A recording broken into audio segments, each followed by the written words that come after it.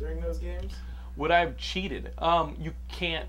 You couldn't cheat Yes, you really. can. with the original uh, with the original Secret of Monkey Island, like with those games, you got to kind of sit there and figure it out because there's no internet, there's no Google, uh, there's no. You, basically, those adventure games, you had to be the first among your friends to beat it because that made you an authority.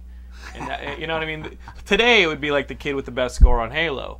Back Right. then, fuck it, I figured out how to open the monkey to get it down the monkey head in the island to get down into the underground. Um, I know what you, you- mean. you I had to race to be the first. to figure out, not to show my age, wizardry.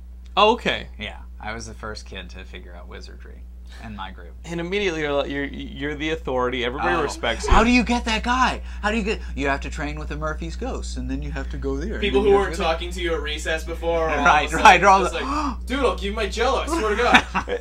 So Adrian, true. we do have audience members at that Right. age. Oh, who would have? Oh, remember Like- wizardry? Like Satori, Oh. Totally play that game. Yeah, yeah, yeah. I was totally like Saturday mornings. I would wake up early when I spent my night with a, a friend who had the game, and I would train on the Murphy's Ghost until I got this super powerful figure who could go kill the wizard.